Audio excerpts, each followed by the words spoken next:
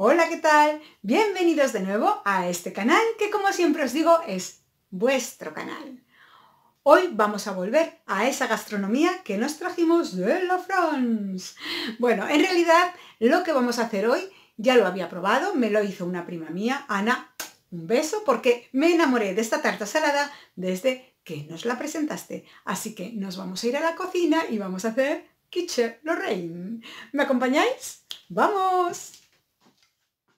Lo que voy a hacer va a ser coger un molde de este tipo de tartas, los tenéis desmoldables, el mío pues no lo es, a ver si compro uno algún día, pues que no sé dónde voy a meter tantas cosas que tengo de cocina. Mm, lo primero que vamos a hacer va a ser engrasarlo. Yo voy a usar este tipo de aceites que hay para, para engrasarlo. Si no tenéis, pues ya sabéis, untáis un poquito de aceite con una servilletita para que lo extendáis bien y luego os polvoreáis un poco de harina, aceite, mantequilla, margarina, lo que queráis. El caso es que no se os pegue. Después lo primero que vamos a usar es masa quebrada o masa brisa. Es lo mismo, quebrada y brisa es la misma pasta. Yo por no alargar el vídeo, pues la he cogido preparada ya, comprada, que además te pone en el, para quichés y a ver cómo, cómo va, quiches y tartas pone, ¿de acuerdo? Hay algunas que vienen para dulces, pero esta es solo eh, normal, no, no es dulce, ¿vale? Para que la podáis aprovechar también en un tipo de tartas como esta salada. Y, las, y lo que hacemos es pasar nuestra masa a la base de tarta que, que tengamos y la moldaremos, pues eso, según nuestra base. No si habéis visto, yo la suelo poner del revés con el papel y así me es más cómoda que cogerla con las dos manos y a pulso intentar que, me cuadre, porque hay veces que, que, se te parte. Entonces yo pongo le doy la vuelta y ya está. Ahí colocamos, si tiene onditas pues amoldamos las ondas, como estoy haciendo yo, y si es lisa pues nada, pues lisa y ya está. Normalmente pues no cuadran todas las, las tartas, o sea, el tamaño suele variar, pero para este tipo más o menos, veis, a mí me va a sobrar en este lado y en vez de cortar con el cuchillo, ya sabéis que yo soy mucha pucera y muchas cosas que digo, ay, pues esto lo hago así, ¿está mal? Sí, puede que esté mal, pero si yo soy torpe para unas cosas, mirar, pues en vez de coger el cuchillo simplemente lo que hago es doblarla y con el mismo borde la corto. O sea, no tengo ningún problema y se me queda al tamaño y no que cuando estoy con el cuchillo, que como soy torpe, aún hago más desastre del que es. Ya veis. Luego una vez que se hornea, esto para nada lo vamos a notar. Y lo que sí que vamos a hacer va a ser, además de pincharla, la voy a pinchar un poquito, como hacemos con, con las de hojaldre, va a ser ponerle un poco de peso y hornearla antes de echar la kits, o sea, el resto del contenido, ¿vale? De lo que lo vamos a rellenar para eh, que no me suba, la horneo un poquito y después, claro que no se me quede cruda, porque si le echo directamente todo, pues no se me termina, no se me termina de hacer. Ya habéis visto que en la tarta de manzana que os he preparado en algún vídeo, que uso masa de hojaldre, lo que hago es hornearla eh, directamente, sin peso ni nada, pero porque a mí me gusta que se me dore y, y la caramelizo un poco y esas cositas que suelo hacer pero si no, pues no hay, no hay problema, pero sí me gusta que se haga un poquito. Y en este tipo de, masa, sobre todo cuando es casera, que nos queda igual un poquito más gordita, luego la podemos afinar a lo que queramos, ¿eh? pero a mí se me queda como más gordita, pues entonces es cuando tengo yo problemas para que no me suba tanto. Bueno, yo he preparado ahora antes de, en vez de echar aquí el peso directamente, he preparado un papel, que lo que he hecho ha sido coger el tamaño más menos, más o menos, de lo que sería el radio de nuestra base y doblarlo, ¿veis? Que tiene todos estos pliegues. Pues eso, si no os calculáis bien el radio, pues así, el diámetro lo extendemos así, ya veis más o menos, ponéis la base, yo ya veis que me sobra, ¿de acuerdo? Que no lo he hecho exacto, y lo que hago es poner esto para que luego los garbanzos o las alubias o el peso, si cogéis peso de este que también te los venden, hay unos pesitos que los venden para poner en las tartas, que no se queden pegados, porque si no se quedan como pegados ahí, si se te recuecen mucho y así pues mejor y más cómodo. Yo ahora, pues mira, la legumbre que tengo es judía blanca, así que lo que voy a hacer es rellenarla de judía blanca para que el peso me aguante bien y no me suba esa masa. Esta judía, luego yo os recomiendo que la guardéis otra vez y la podéis aprovechar para más ocasiones en un, tarro, porque si no vais a gastar un montón de, de legumbre, a no ser que tengáis vuestro peso, como os digo, y ya está. Así la vamos a meter al horno, que ya lo tengo precalentado, lo tengo precalentado a 200 grados y la voy a tener unos 15 minutos. Ya sabéis, dependerá de vuestro horno, no se os vaya a hacer demasiado, no, no se os va a hacer mucho, ¿vale? Entre 12 y 15 minutos a 180, 200, depende cómo sean las potencias de vuestro horno, con el calor, eso sí, arriba y abajo. Y nada, me quedo yo horneando esto un poquito y después continúo y os enseño cómo vamos a continuar esta quiche Rein. Lo he dejado enfriar un poco porque si no esto está hirviendo. Y lo que vamos a hacer va a ser pues quitar eh, el peso que hemos puesto. A ver si no se me escapan. Algunos se me va a caer. Y lo voy a guardar en el tarrico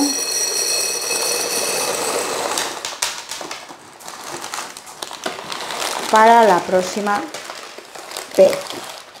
He puesto muchos y no me caben en un solo tarro, así que ahora lo pondré bien. Ahora, en este punto, lo que vamos a hacer es, he batido un, huevo, ¿vale? Si tenéis una clara, una clara, si tenéis una yema, una yema, pero si no, pues huevo entero. Y lo que vamos a hacer va a ser untar de huevo la masa quebrada o brisa, como la queréis llamar. Yo depende de cómo me sale, la verdad, unos días la llamo brisa y otros días la llamo quebrada. Y la vamos a untar con huevo y la vamos a meter otra vez en el horno durante 5 minutos. ¿Para qué se hace esto? Pues para que, como luego lo que vamos a hacer es meter líquido, pues que no absorba la masa tanto el líquido, que se selle un poquito y después ya sí que meteremos nuestra, nuestro relleno. ¿De acuerdo? Le damos a todo y una vez que hemos dado pincelado con el huevo a todo, lo que haremos será meterlo al horno esos 5 minutos. Mirar, a mí me ha dorado mucho los, los bordes. Lo que voy a hacer ahora para que no se me acaben quemando es tapar estos bordes con papel de albal y meterlo al horno. Y de esa manera protejo esto y no se me quemará. ¿De acuerdo? Venga, os espero en 5 minutos. Esos 5 minutos, como veis, he puesto en los bordes el papel, lo voy a retirar, luego lo volveré a colocar, ¿vale? Para que se me termine de hacer la tarta sin que se me queme. Vamos a continuar y vamos a freír bacon. Unos 200 gramos, bueno, yo directamente 200 gramos, lo digo porque si no tenéis, pues calculáis o si tenéis un poquito más, pues tampoco pasa nada porque echéis un poco más o un poco menos, ¿de acuerdo? Pero sería eso, sofreír, eh, otra vez tengo problemas, ya, vale, ya está, eh, sofreír 200 de tiras de bacon, me da igual si os gustan de un tipo, ahumado, sin ahumar, si lo cogéis fresco, el caso es que cojamos bacon, yo lo he cogido ahumado y lo que vamos a hacer va a ser saltearlo. Hay quien le echa también cebolla, ¿de acuerdo? O sea, también podéis picar cebolla, una cantidad maja y echarle cebolla. Yo no le voy a echar porque es la primera vez que le voy a dar este plato a mi hija la pequeña, que ya es bastante complicado darle de comer e introducirle eh, alimentos nuevos, que no es tan pequeña, pero eh, es un poco complicado hasta que acepta una comida. Entonces, sabiendo que la cebolla puede darme tal vez algún problema, aunque en otros platos lo come, pues lo evito y simplemente lo que voy a hacer va a ser saltear, perdonar, este bacon.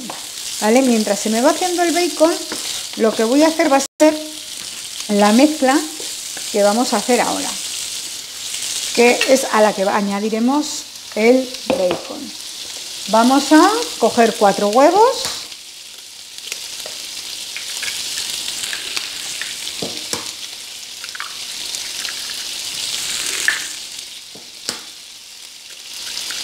así avanzamos un poquito.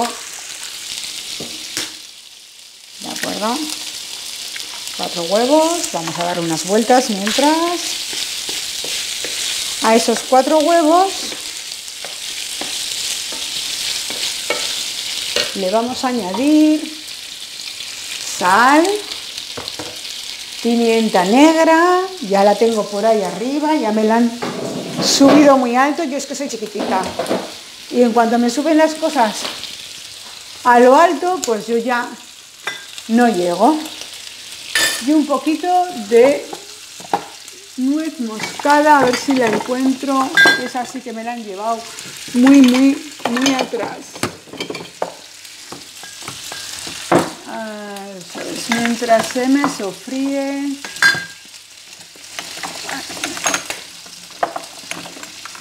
Aquí está.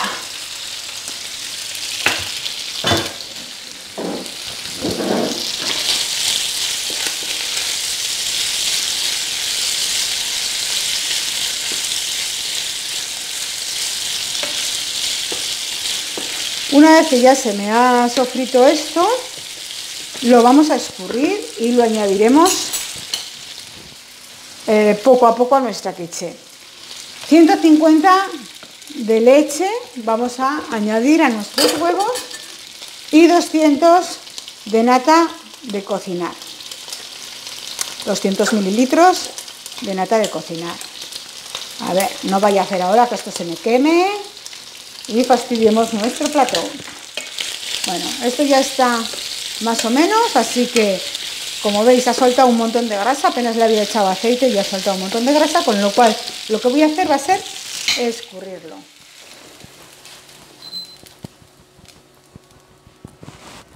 Escurrimos esto, dejo la sartén aparte y apago fuego.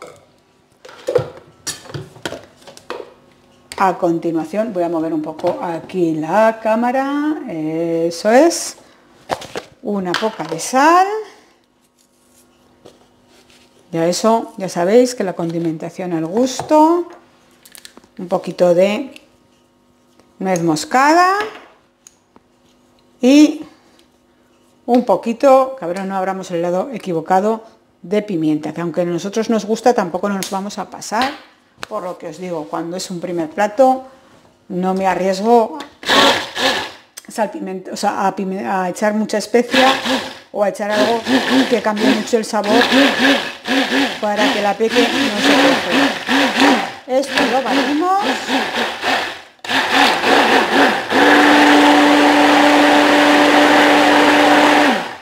Y esta mezcla lo que vamos a hacer es ponerla en nuestra tarta salada. Vamos a echar un poquito de nuestra mezcla, de nuestra nata. Aquí vamos a echar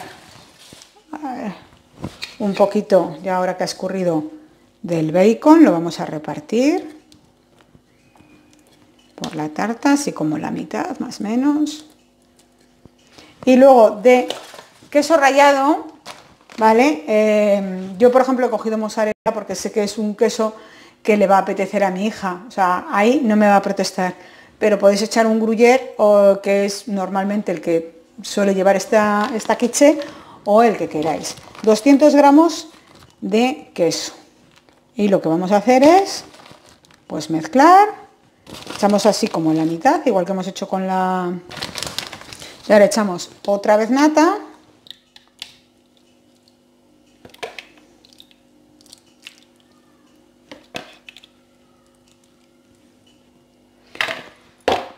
echamos la pancetita que nos, el bacon panceta que nos ha sobrado, así repartiéndola un poquito por todo.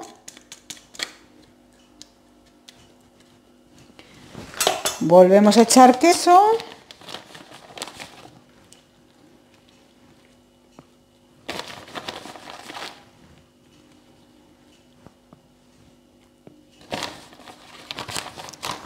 y echamos la mezcla que nos queda y la parte de arriba lo que vamos a hacer va a ser echarle el queso que nos queda para que intentamos mezclar así todo que se hunda en la nata muy bien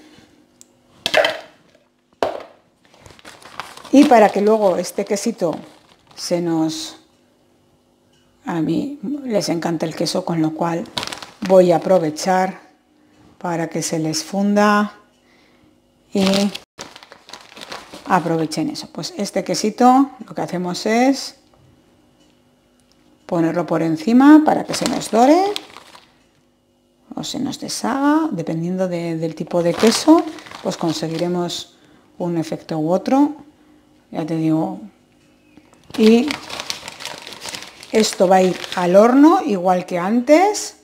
Vamos a meterlo. Yo ahora lo voy a meter a 180. Prefiero tenerlo un poquito más, ¿vale? Y controlar esto que... Esto de aquí, que ahora lo voy a tapar.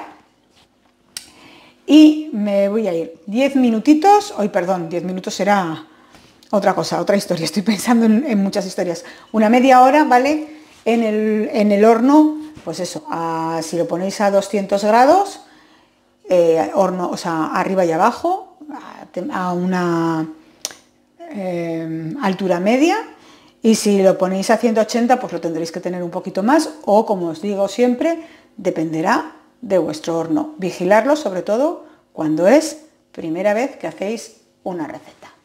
Bien sacadita del horno, nuestra quiche Lorraine, súper tiernita y huele divino. Espero que os guste.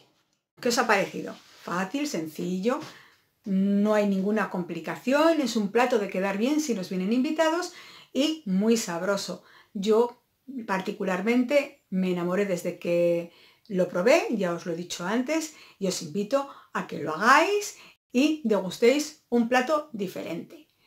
Recordaros que tenemos aquí para los no suscritos un cartelito donde os podéis suscribir, una campanita que os recordará cada vez que subamos un vídeo y sobre todo mil gracias por haber pasado por aquí a todos vosotros. Nos vemos en el próximo vídeo. Un beso. Chao.